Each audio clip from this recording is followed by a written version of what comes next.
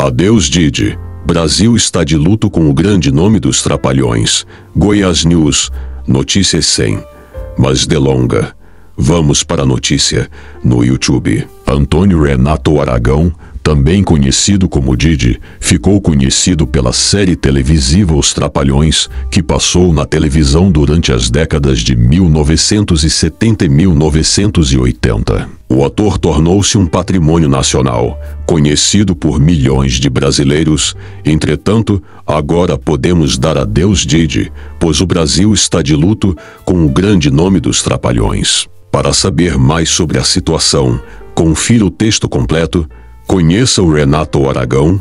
Antônio Renato Aragão, também conhecido como Didi, nasceu em Sobral em 13 de janeiro de 1935. A saber, ele é ator, comediante, produtor, diretor, humorista, escritor, poeta, roteirista, cantor, apresentador, advogado, empresário, cineasta, redator e dublador. Ou seja, já atuou na maioria das áreas da televisão brasileira e ficou famoso por estrelar a série televisiva Os Trapalhões. Apesar que muitos não saibam, Didi é advogado e formou-se na Faculdade de Direito do Ceará da Universidade Federal do Ceará em 1961.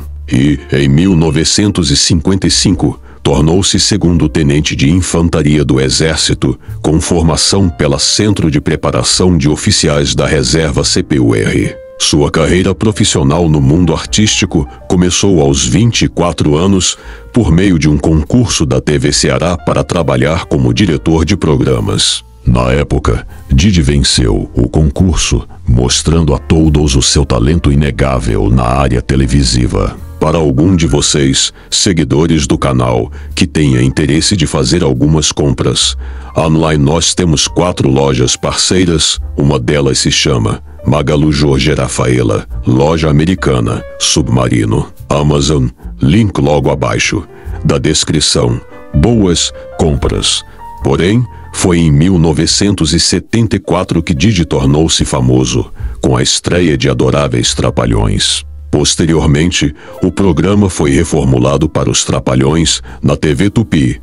Seus companheiros de elenco, Dedé Santana, Mussum e Zacarias, também tiveram grande reconhecimento pela atuação. Ademais, Renato recebeu premiações estrangeiras por Os Vagabundos Trapalhões e O Cangaceiro Trapalhão, em Portugal, e Os Trapalhões e a Árvore da Juventude, na Venezuela. Atualmente, o humorista tem 88 anos e ainda realiza participações e pequenos trabalhos na televisão brasileira, assim como ainda são comercializados diversos produtos com sua marca. Adeus Didi. Brasil está de luto após 60 anos trabalhando na televisão brasileira. Renato Aragão perdeu direito à marca Didi.